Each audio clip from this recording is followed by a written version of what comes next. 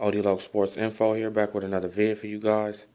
Yeah, um, and I just um started following Jermell Charlo on Twitter, and this had popped up from the other day, um, when that article had popped up, um, about him saying, um, like, how the hell did Lubin get a title shot?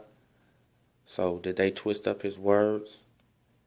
Because this was posted on his Twitter, I say about nine or ten minutes after that article popped up.